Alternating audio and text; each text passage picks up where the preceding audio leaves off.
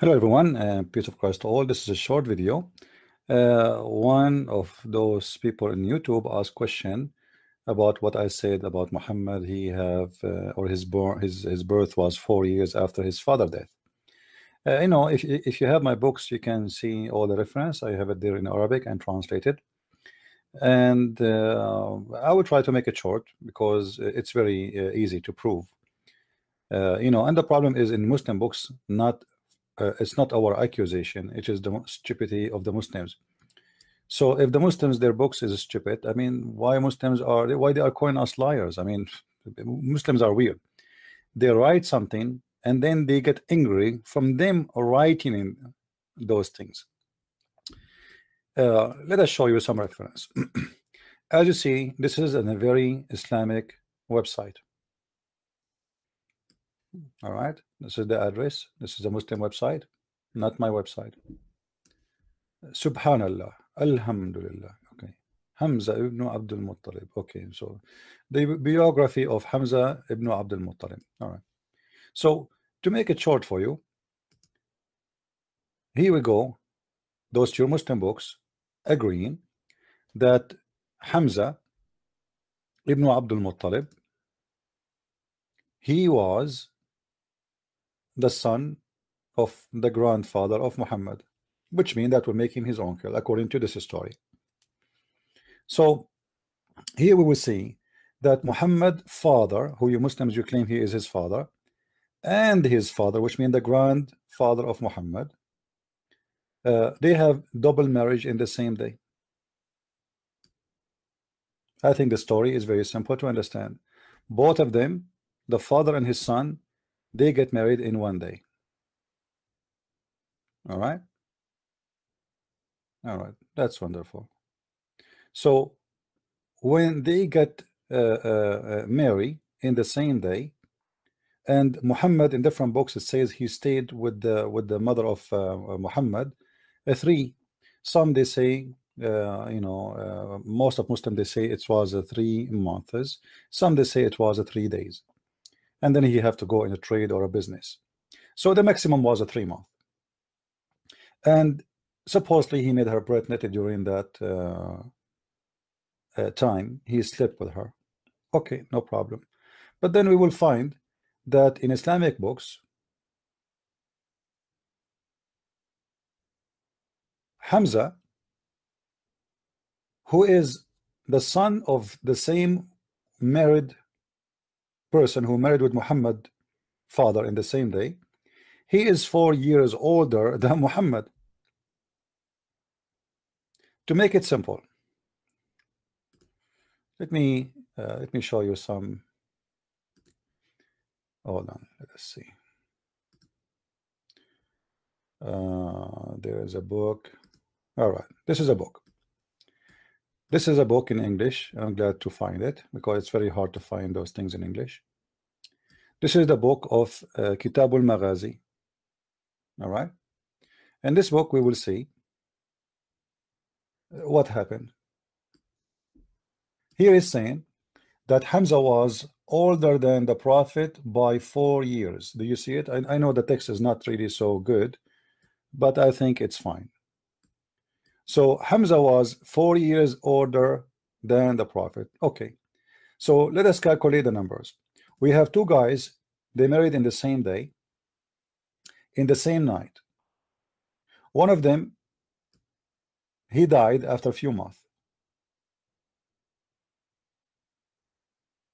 So he have a very short period of time to make the woman his wife pregnant because there is no way he will make a pregnant after he die. So if a man he died today, the woman she have maximum of nine months after that to deliver a son, not to get a pregnant after nine months. She have to be pregnant at the time he di he die. So she have a maximum of nine months to deliver a, a, child. After that, there's no way this is the son of the person. So if I marry from a uh, uh, from a woman, and my father or my brother in the same day, and then I die few months after, then how my son will be born four years after the son of my brother or my grandfather or father the person who I married with him two women in the same day. Are you getting it? So the story is very simple. And if you Muslims, you want to accuse your own stupid stories and your books by, you know, by saying they are liars, they are donkeys, all of you are donkeys anyway. This is not my business. But the story is very easy. There is no way Muhammad is born four years after Hamza when both of them, their parents, they married in the same day. It's impossible.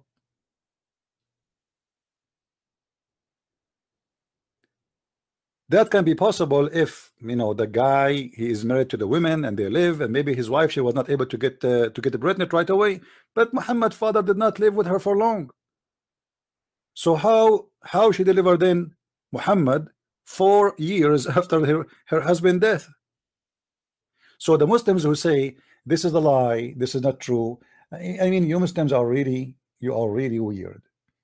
You have a problem. And your problem is your books. And you are trying to get rid of it, but it doesn't work. It's there. And thank God that, yes, we are Christians, but we know Arabic. Because all those stories was hiding, and if not we speak Arabic, none of you will know about it. Even you Muslims would not even notice. It was us, the Christians, who showed you that this is stupid. This is how it is. It's a stupid. And that is exactly what Islam is about. And it's very obvious that Muhammad father cannot be this person, the Muslim, they call him Abdullah, for very simple reason too. Additional reason, how Muslims, they believe that Abdullah is the father of Muhammad, but yet he don't believe in Allah. He will go to hell. There's tons of, uh, of reasons to believe that this is a false fiction story.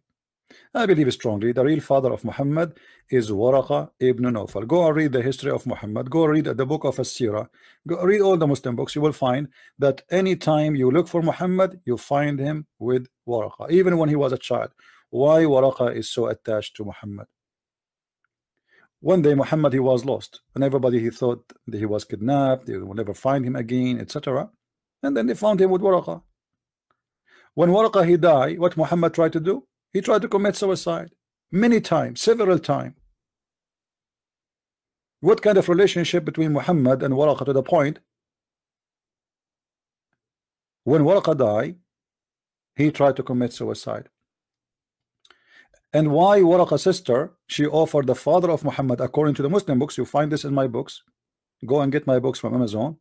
Search for Christian Prince and you will find in Amazon my books you will find that how the sister of Waraqa she offered 100 camels to the father of Muhammad to sleep with her when he was going to sleep with Amina which mean in the way to go to Amina.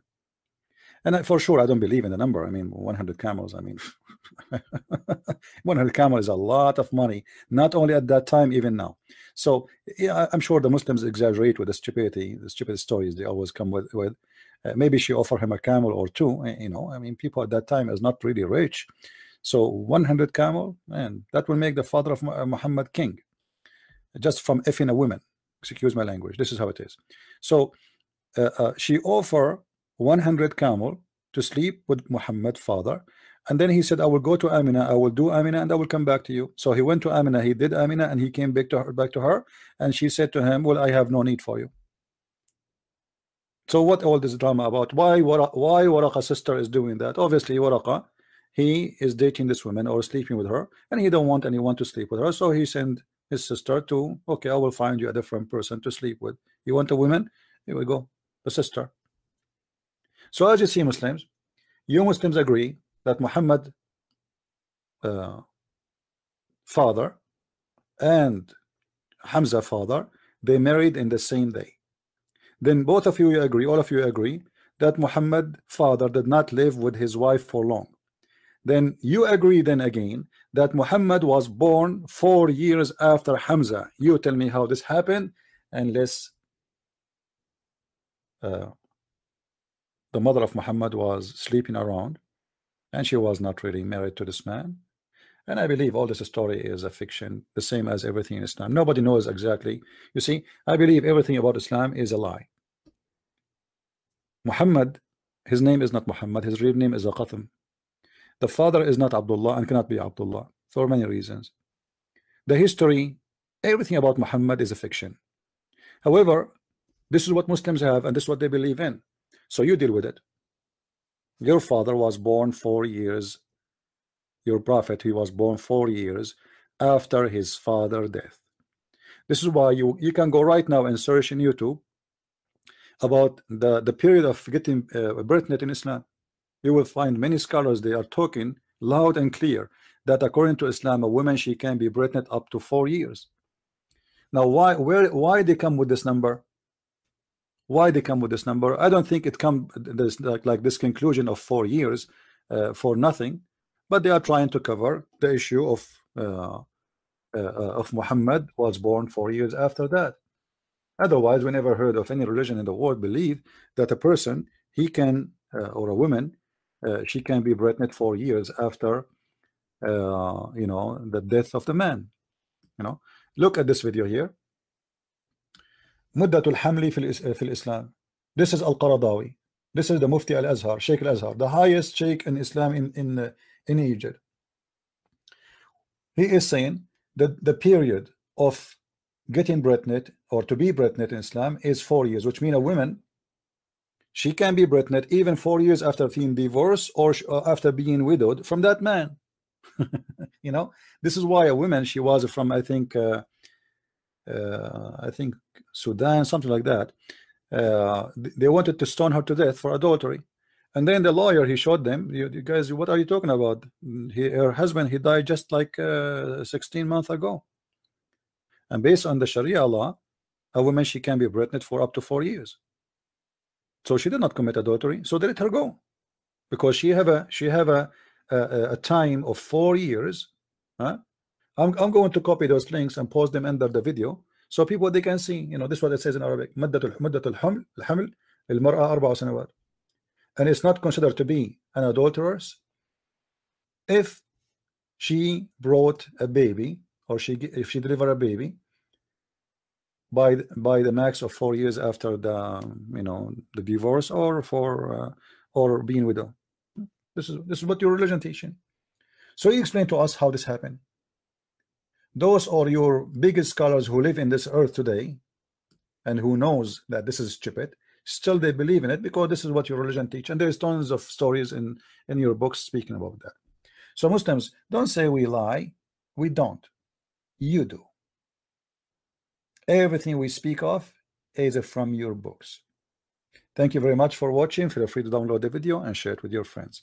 And we will be back again on air on Sunday 4:30 p.m. feel free to subscribe.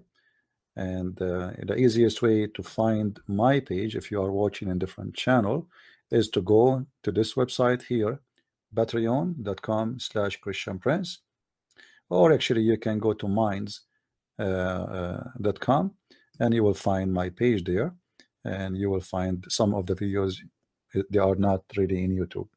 Thank you very much for watching. May the Lord bless you all. Christ is Lord. Islam is stupid. Made by the stupid for the stupid. Thank you